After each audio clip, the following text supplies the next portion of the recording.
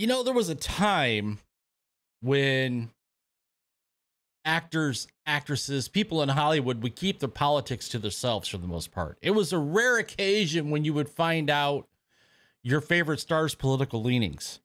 But oh, how times have changed. Um, case in point,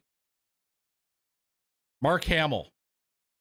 Now, Mark Hamill this past weekend was at the Fan Expo Chicago, where he sat on a panel. He did a Q&A session.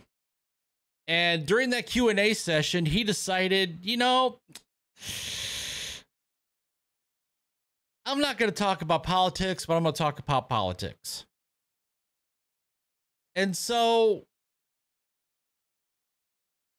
being the page shield that he is, and that's what he is. I mean, yeah, yeah, yeah. He was Luke Skywalker in the original Star Wars trilogy. He was the Joker in Batman the Animated Series and other animated Batman projects throughout the years. And and make no mistake, okay? Mark Hamill is Luke Skywalker.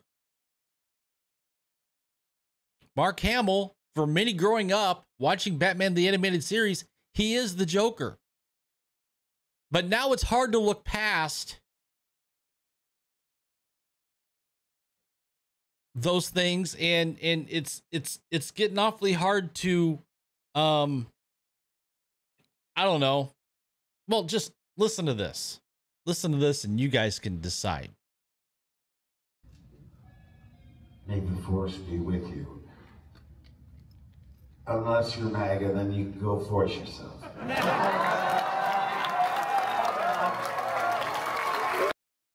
Unless you're MAGA, then you can go force yourself. Woohoo!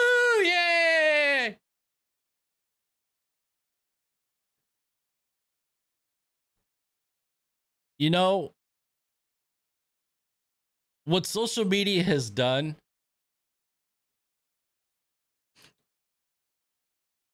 it's it's let us in on how these people in Hollywood literally hate half the country.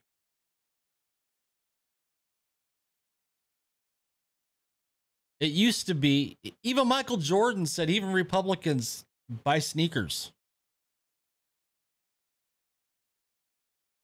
Michael Jordan knew don't get political because you get political people aren't going to buy your product.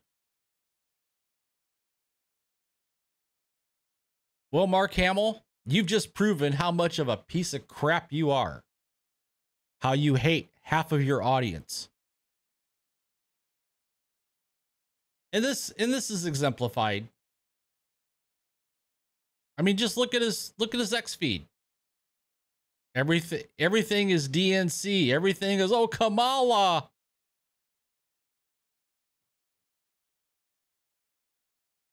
Tonight, just to be clear, I'll be there in person, so there's no need for me to watch it at home on pay per view, but everyone should because it's sold out. Sexy Liberal Chicago.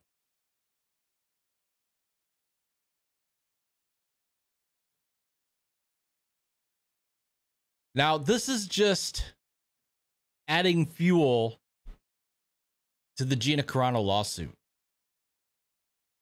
Just to show the double standard that's out there. Kathleen Kennedy, Bob Iger, Lucasfilm. You know, you you terminated Gina Carano's contract. You terminated Gina Carano from The Mandalorian because of political statements, quote unquote. You know, Mark Hamill's got a new project with Lego Star Wars. What about his political statements? Oh, that's right. You agree with his political statements. His are okay. Now, not only that, not only that, but you have this. Mark Hamill thinks that he's worth a four four hundred dollars per autograph on an eight by ten photo. Five hundred dollars for premium, seven hundred dollars for bulky. Now, Mark Hamill, you're not the big star you think you are. Maybe in your own mind.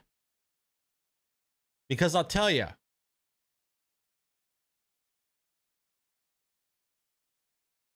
you can go see Ella Purnell, the star of Fallout. You can go see Hayden Christensen. You can go see William freaking Shatner, Captain Kirk, and pay a fraction to get an autograph and spend two minutes talking to these people than you would to get an autograph from Mark Hamill.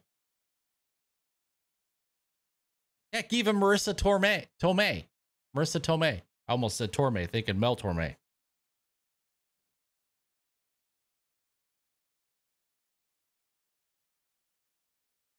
So there you have it. Mark Hamill, the paid shill who hates half his audience because they disagree with him. Telling their telling that that half of his audience to go force themselves. Well, Mark Hamill, right back at you with a big F bomb. So there you have it. Mark Hamill, everybody. There you have it.